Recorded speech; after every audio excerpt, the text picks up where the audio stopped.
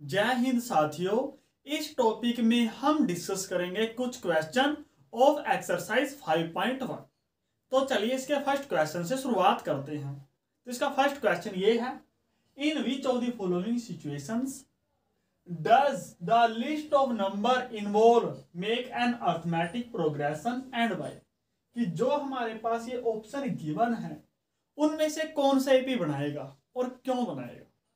तो चलिए इसके फ़र्स्ट पार्ट से सोल्व करते हैं।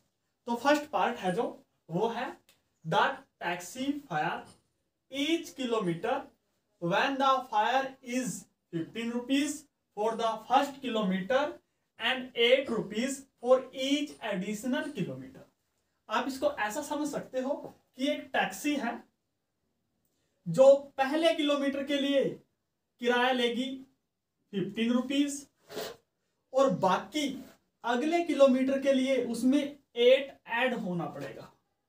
मींस जो इसकी फ़र्स्ट टर्म है, जो गिवन है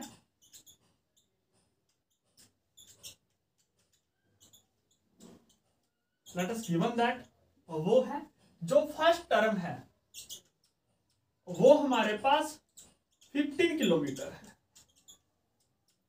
15 रुपीज़ है। और यहाँ पर आप ये मान सकते हो where a n denotes nth kilometre जो ए एन है, वो डिनोट्स करती है कि कितने किलोमीटर चला गया। तो फ़र्स्ट किलोमीटर के लिए हमारे पास 15 है। इसी प्रकार सेकंड किलोमीटर के लिए एट ऐड होगा। तो यहाँ पर होगा फिफ्टीन प्लस एट। इसी प्रकार ये इक्वल होगा ट्वेंटी थ्री। इसी प्रकार थर्ड किलोमीटर के लिए ट्वेंटी थ्री में एट ऐड होगा। तो यहाँ पर आएगा थर्टी वन। और इसी प्रकार फोर्थ किलोमीटर में thirty one plus eight add होगा। तो ये आएगा थर्टी नाइन रुपीज़ तो आप यहाँ देख सकते हो कि अगर हम a two minus a one करें तो इक्वल आएगा एट इसी प्रकार a three minus a two करें, वो इक्वल होगा a four minus a three और वो इक्वल होगा एट के. और इसी प्रकार ये होगा. तो हम ये बोल सकते हैं कि जो फ़र्स्ट पार्ट है जो ये गिवन कंडीशन है, वो क्या है? एपी फॉर्म करती है यस और जो रीजन है, वो ये है। क्यों? क्योंकि second term minus first term equal है third term minus second term means this is an AP अब आगे अब जो इसका सेकंड पार्ट है, वो ये है the amount of air means वायु की मात्रा प्रेजेंट इन अ सिलेंडर एक सिलेंडर के अंदर है वैन अ वैक्यूम पंप। एक वैक्यूम पंप वो होता है जो सिलेंडर के अंदर से हवा को बाहर निकालता है। Removes one by fourth of the air remaining in the cylinder at a time कि ये बताना है हमने कि जो ये सिचुएशन है, वो एपी बनाएगी या नहीं बनाएगी। तो मान लीजिए, इसको सोल्व करें अगर हम। Let the amount of air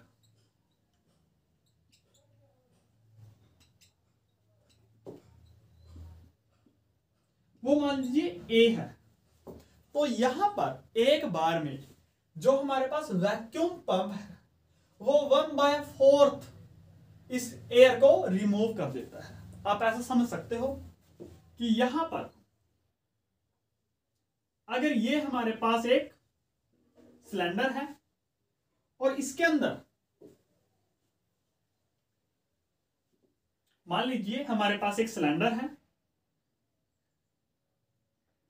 और इसके अंदर मान लीजिए सिक्सटी फोर के जी एयर है। तो ये वैक्यूम पंप क्या करेगा? पहले यहाँ पर सिक्सटी फोर है। एग्ज़ाम्पल के लिए मान लीजिए सिक्सटी फोर है। तो इसके एक बार में अगर हम पंप करेंगे तो इसका फोर्थ हिस्सा वो बाहर कर देगा। तो इसका फोर्थ हिस्सा कितना हुआ? सिक्सटीन तो सिक्सटीन के में से बाहर हो जाएगा। मीन्स अगर ए वन ये है तो ए टू कितना होगा? ए टू होगा sixty four minus sixteen that is forty eight और फिर दूसरी बार क्या करेगा? इसका फोर्थ पार्ट रिमूव कर देगा। और इसका फोर्थ पार्ट है जो, वो कितना होगा? वो ट्वेल्व होगा मीन्स ट्वेल्व के जी रिमूव कर देगा। तो ट्वेल्व के जी होगा थर्टी सिक्स फिर इसी प्रकार इसका फोर्थ पार्ट रिमूव कर देगा। और इसका फोर्थ पार्ट होगा, वो नाइन होगा। तो नाइन के जी रिमूव करेगा तो ये आएगा हमारे पास ट्वेंटी सेवन इसी प्रकार चलता रहेगा। तो आप यहाँ देख सकते हो कि a two minus a one वो तो सिक्सटीन है। लेकिन a three minus a two ये हमारे पास ट्वेल्व है। तो आप यहाँ देख सकते हो इक्वल नहीं है। तो ये पी नहीं बनाएगा। और इसी प्रकार, अगर अमाउंट ऑफ़ एयर वो ए है शुरू शुरू में ए है तो इसका फोर्थ पार्ट तो रिमूव कर देगा वो। तो बचेगा कितना? बचेगा three by fourth part means अगर हमारे पास ए है तो सेकंड टाइम में कितना बचेगा इसका? Three by fourth part means three by a ये बचेगा। और फिर सेकंड टाइम्स के इसका भी थ्री बाय फोर बचेगा। और थ्री बाय फोर का थ्री बाय फोर ए का थ्री बाय फोर अगर हम निकाल तो ये आएगा नाइन बाय सिक्सटीन ए ये आएगा। इसी प्रकार तो आप यहाँ अगर इसको सोल्व करोगे तो इसको सोल्व करोगे तो देखिए ए टू है a two minus a one कीजिए। ए टू हमारे पास थ्री बाय फोर ए है माइनस ए है। तो ये हमारे पास आएगा एक्चुअली में नेगेटिव आएगा। यहाँ पर नेगेटिव यहाँ पर नेगेटिव ये आएगा। इसी प्रकार अगर हम इसको माइनस करें तो ये होगा minus one by fourth a और इसी प्रकार अगर हम a three minus a two करें तो वो आएगा ए थ्री हमारे पास है nine by sixty a minus ये है थ्री बाय फोर तो यहाँ पर three by four three by four common है। तो अंदर बचा three by four minus one means three by four a into यहाँ पर बचा माइनस वन बाय फोर तो ये होगा minus three by sixteen a तो आप यहाँ देख सकते हो कि जो as a two minus a one equal नहीं है a three minus a two के। क्यों? क्योंकि जो a two minus a one है, वो माइनस वन बाई फोर थी। और इसी प्रकार a three minus a two है, वो actually minus three by sixteen है। तो ये कभी भी इक्वल नहीं होगा। तो हम बोल सकते हैं कि जो सेकंड पार्ट है, वो एपी नहीं बनाएगा। इसका जो थर्ड पार्ट है, वो ये है। The cost of digging a well एक कुएँ खोदने की जो कॉस्ट है after every metre of digging when it cost rupees one fifty for the first metre and rise by fifty metre for E subsequent metre एक कुआ है, उसको खोदने के लिए जो पहले मीटर का किराया है, वो कितना है? एक सौ पचास रुपीज़ है। और बाद में प्रत्येक मीटर के लिए वो कितना है? पचास रुपीज़ है। तो आप यहाँ देख सकते हो कि ये भी एपी बनाएगा। अगर हम ए एन है जो, उसको लिखें, जो ए एन है, वो है कॉस्ट ऑफ़ एनथ मीटर तो यहाँ पर जो ए वन आएगा फ़र्स्ट के लिए कितना है? वो हमारे पास वन फिफ्टी है। इसी प्रकार, जो सेकंड के लिए कितना इसमें पचास जुड़ेगा। Means a one a two कितना है? अगर हम इसके पचास जोड़ेंगे तो दो सौ। इसी प्रकार ए थर्ड अब इसमें पचास ऐड होगा तो टू फाइव ज़ीरो इसी प्रकार ए फोर होगा जो, वो थ्री हंड्रेड होगा। ऐसे ही चलता रहेगा ये। तो अगर हम a two as a two minus a one वो किसके इक्वल आया? वो फिफ्टी के इक्वल आया। और ये इक्वल आया a three minus a two के और वो इक्वल आया a four minus a three के। तो हम ये बोल सकते हैं this means this is AP और रीजन क्या है? ये है क्योंकि कॉमन डिफरेंस इसका सेम है। अब देखिए, जो फोर्थ पार्ट है, वो ये है the amount of money in the account every year when ten thousand is deposit at compound interest at eight percent per annum तो यहाँ पर जो बात हो रही है, वो एक्चुअल में कंपाउंड इंटरेस्ट चक्रवर्ती ब्याज की बात करेंगे हम तो चक्रवर्ती ब्याज है जो, पहले जो अमाउंट है, वो टेन थाउज़ेंड है। तो फ़र्स्ट इनकम है लेट लेट ए एन है जो a n is amount in n plus one year ये है। तो यहाँ पर एन प्लस वन मीन्स अगर ए वन होगा तो एन का वैल्यू कितना है? ज़ीरो होगा। और यहाँ पर ए टू होगा तो यहाँ पर एक्चुअली एन माइनस वन है। तो एन माइनस वन थी इसी प्रकार अगर हम ए वन निकालें तो a one means n minus one यानी ज़ीरो साल में। कितनी इनकम है? यहाँ पर टेन थाउज़ेंड है। और दूसरे साल में कितनी होगी? यहाँ पर फॉर्मूला होता है P one plus R by hundred ये होता है। तो ये इक्वल होगा। आर का वैल्यू है ten thousand one plus P का वैल्यू वन थाउज़ेंड है आर का वैल्यू है एट परसेंट है। तो एट बाय वन हंड्रेड तो ये इक्वल आएगा ten thousand into one zero eight by hundred zero is cancel with zero तो यहाँ पर आएगा टेन थाउज़ेंड एट हंड्रेड ये आएगा। इसी प्रकार अगर हम ए थर्ड टर्म निकाल लें। अब जो ब्याज लगेगा, दूसरे साल में, वो इस पर ब्याज लगेगा। तो इस पर ब्याज लगेगा वो होगा पी अब मान लीजिए ए टू है जो, और यहाँ पर one plus R by hundred ये होगा।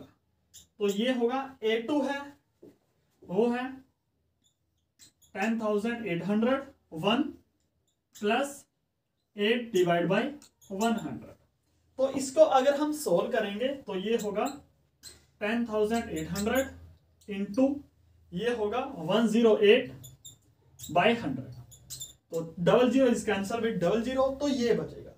और अगर हम इसका वैल्यू निकाल लें तो इलेवन सिक्स सिक्स फोर ये आएगा। अब आप a two minus a one कीजिए। तो अगर हम a two minus a one करें तो जो ए टू है, वो टेन थाउज़ेंड एट हंड्रेड है। माइनस जो ए वन है, वो एट हंड्रेड है। वो हमारे पास टेन थाउज़ेंड है।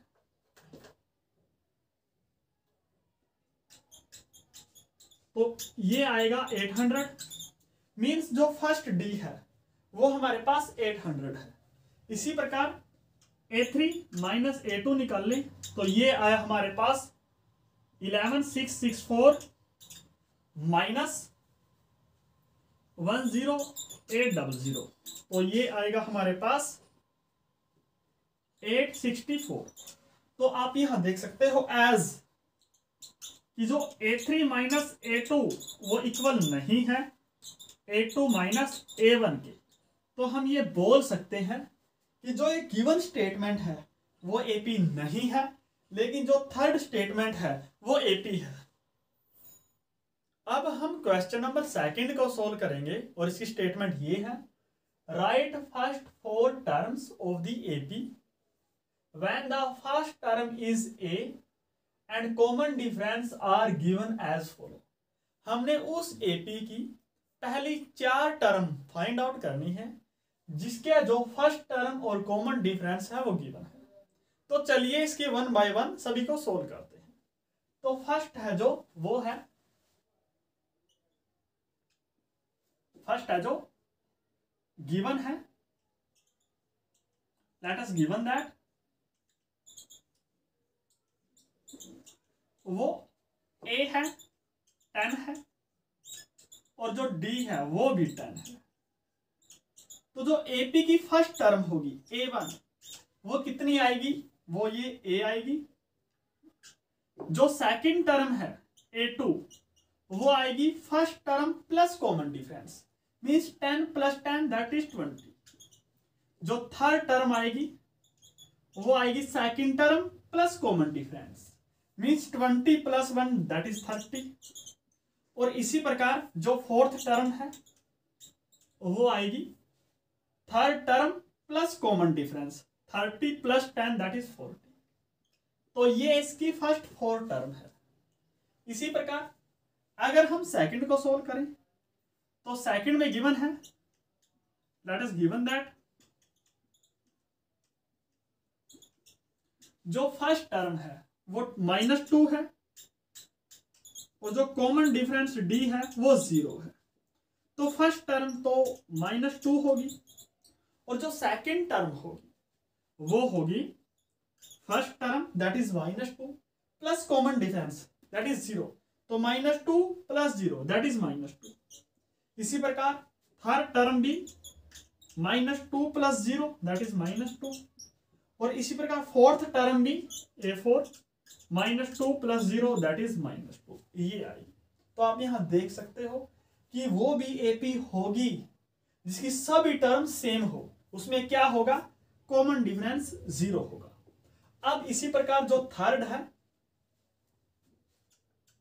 थर्ड में गिवन है ए हमारे पास फोर है और डी हमारे पास माइनस थ्री है।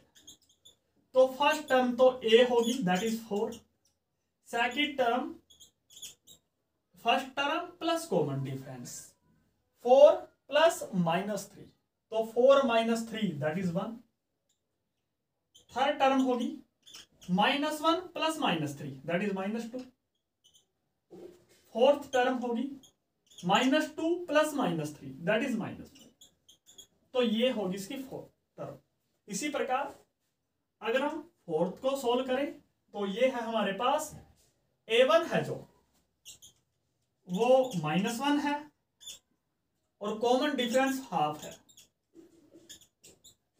तो जो फ़र्स्ट टर्म है, वो माइनस वन होगी.